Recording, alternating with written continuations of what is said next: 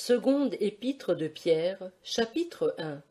Simon Pierre, serviteur et apôtre de Jésus-Christ, à ceux qui ont eu en partage une foi du même prix que la nôtre, dans la justice de notre Dieu et Sauveur Jésus-Christ. La grâce et la paix vous soient multipliées dans la connaissance de Dieu et de notre Seigneur Jésus. Comme sa divine puissance nous a donné tout ce qui regarde la vie et la piété, par la connaissance de celui qui nous a appelés par sa gloire et par sa vertu,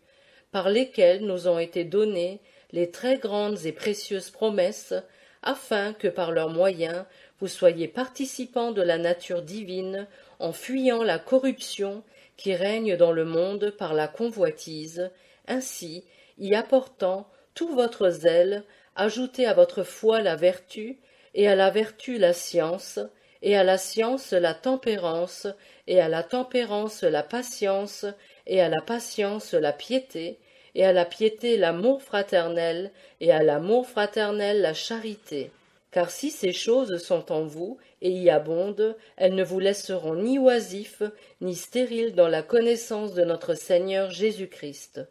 Mais celui, en qui ces choses ne se trouvent point, est aveugle, sa vue est courte, et il a oublié la purification de ses péchés passés. C'est pourquoi, frères, appliquez-vous d'autant plus à affermir votre vocation et votre élection, car en faisant cela, vous ne broncherez jamais, et ainsi l'entrée dans le royaume éternel de notre Seigneur et Sauveur Jésus-Christ vous sera pleinement accordée. C'est pourquoi je ne négligerai pas de vous rappeler sans cesse ces choses quoique vous les sachiez et que vous soyez affermis dans la vérité présente. Et je crois qu'il est juste aussi longtemps que je suis dans cette tente de vous réveiller par mes avertissements, sachant que je quitterai bientôt cette tente comme notre Seigneur Jésus-Christ me l'a fait connaître.